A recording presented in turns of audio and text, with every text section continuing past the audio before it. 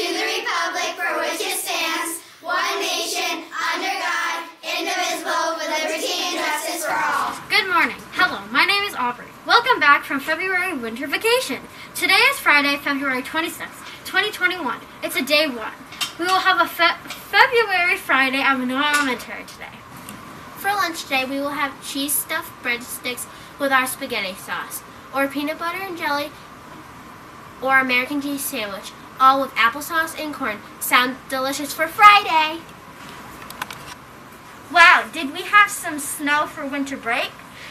Did you have snow at your house? Yes, I think we had to shovel like eight times. We had a lot of fun being able to go outside and build things in the snow.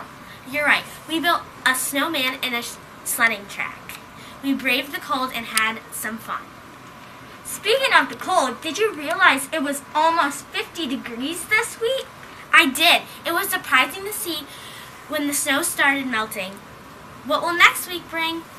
Last week, we had a very appropriate character strength for this week. We celebrated and studied the strength of love. Love means you've had close relationships with others and being close to people. Love is very important to all of us, as it reminds us to keep the ones who are important to us as close as we can. How have you shown love this loving month of February? For our positivity project this week, we have been focusing on other people matter mindset, cheering others in their successes.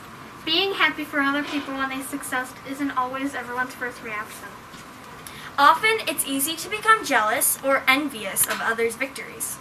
Being supportive of people whose success is good for our mental, physical, and emotional well-being. Envy and jealousy often come from a common place, a sense of not being enough. When people cheer each other on, it begins a back and forth process that allows for stronger relationships. Let's all cheer our successes as well. Anyone have any good stories about how they received Bragging Dragons? Yes, I got one when I did my homework. Wow, that is awesome. Feel free to share a story with us about how you earned one. Do you know what else we celebrate this week? No, what? This week on Wednesday was the 100th day of school. Oh, that's right. I can't believe it's already the 100th day. The kindergartners were at it in full swing. Did you hear their outfits? Yeah, they take the 100th day very seriously by dressing up like they're 100. Also, we saw some of them in the hall and asked them to share what they plan to do when they are 100.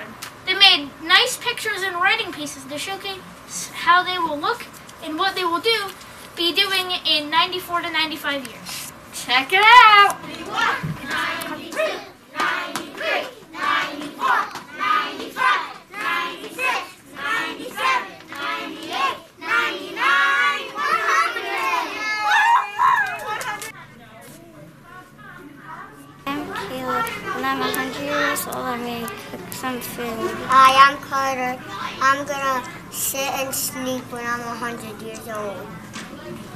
Hi, I'm Jane. When I when I'm 100, I'll read a lot.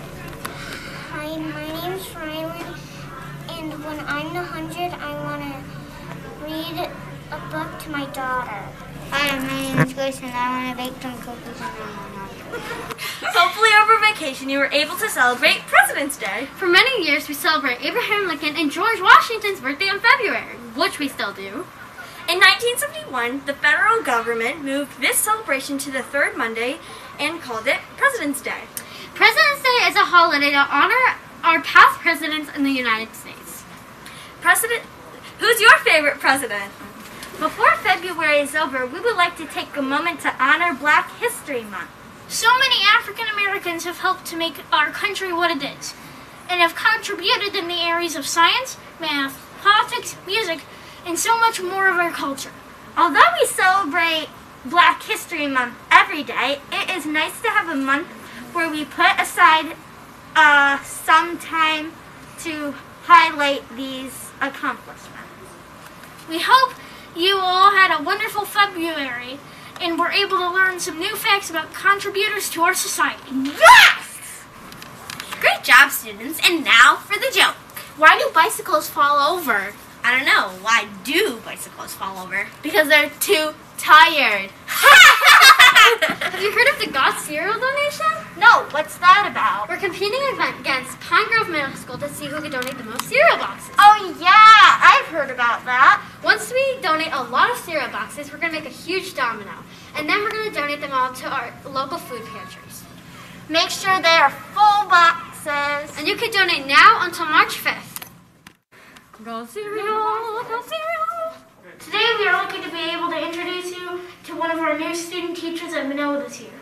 Miss V is here to tell us about herself and what she does here at our school. Who are you and what do you do here? Hi, I'm Miss V and I'm a student teacher from Syracuse University. What did you do before you came here? I was a student and I've taught at other schools before, but now I'm here working with Mrs. Klein. What made you want to come here to Minoa? Well, I actually didn't get to choose my placement, but I'm so glad that I'm here now. What is your favorite subject in school and why? I really like ELA. I like doing read alouds and I like when my students are really engaged and having a good time. Um, yeah.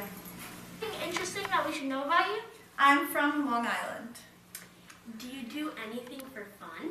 When I was growing up, I used to do dance competitions, and I would dance all week long and then do competitions on the weekends. That's so Anything else that you would like to share?